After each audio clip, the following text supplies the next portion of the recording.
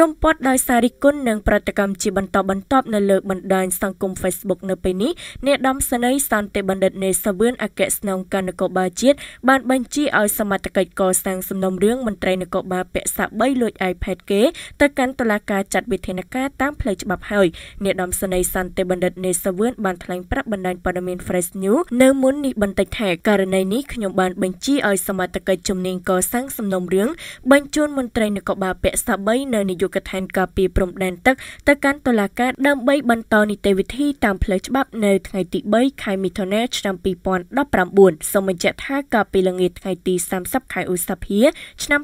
2019មន្ត្រីនគរបាលពាក់សាក់3មានឈ្មោះហេងហាប់អាយុ24ឆ្នាំបម្រើការងារនៅនាយកដ្ឋានការពារព្រំដែនទឹកនិងត្រូវជាកូនប្រុសប្រធាននាយកដ្ឋានទៀតផងត្រូវបាននាយកដ្ឋានព្រំប្រទានបានអនុញ្ញាតឲ្យត្រឡប់ទៅផ្ទះវិញហើយក្រោយធ្វើកិច្ចសន្យានិងមានអ្នកធានាមន្ត្រីនគរបាលរូបនេះកាលពីព្រឹកថ្ងៃទី30ខែឧសភាឆ្នាំ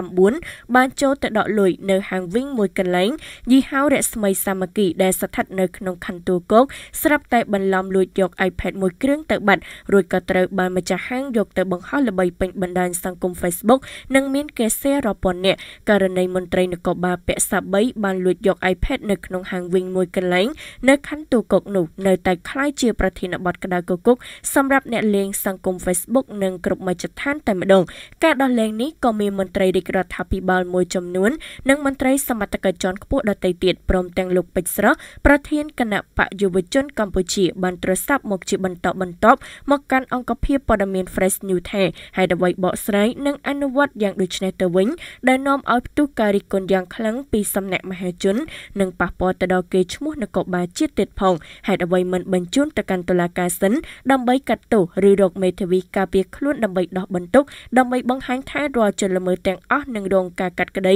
នៅស្ថាប័នតុលាការមិនគួរណាមន្ត្រីសមត្ថកិច្ចជាអ្នកអាកាត់នោះទេ